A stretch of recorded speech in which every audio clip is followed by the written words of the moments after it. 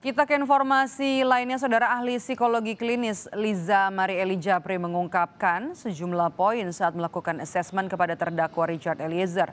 Salah satunya yakni soal ketakutan dan kecemasan yang luar biasa usai kejadian penembakan Yosua.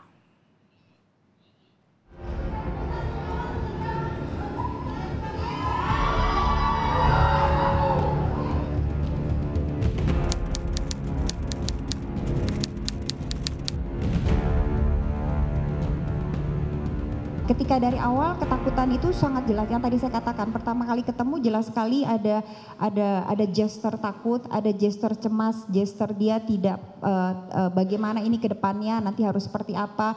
Dan itu banyak menampilkan gesture-gesture tubuh yang yang cemas dan takut seperti itu bermain-main tangan menghindari kontak mata hal-hal demikian. Tapi seiring dengan waktu ketika uh, perlahan-lahan mulai ada dukungan kepada dia dari baik dari orang tua dari para penasihat hukum dari banyak hal analis analisanya mulai jalan, apa yang harus dia lakukan.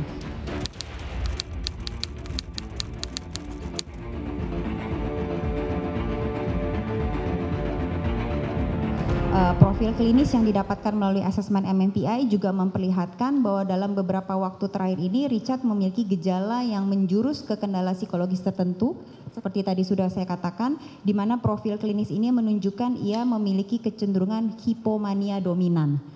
Kenapa sampai dengan hipomania? Karena uh, ada emosi yang uh, secara mudahnya kita katakan flip. Dari takut yang luar biasa, dia kemudian flip berpindah ke spektrum yang lain menjadi sangat bersemangat dan berenergi untuk kemudian melakukan sesuatu, tapi tentu saja karena masalahnya belum selesai, hipomania ini sebenarnya adalah topeng yang di bawahnya adalah kecemasan.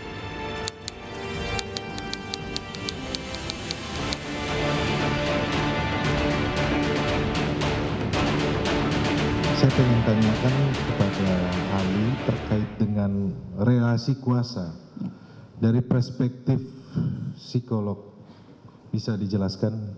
Ya, relasi kuasa adalah salah satu uh, konstruk dalam psikologi juga dan itu hal yang sangat wajar dan uh, normal terjadi.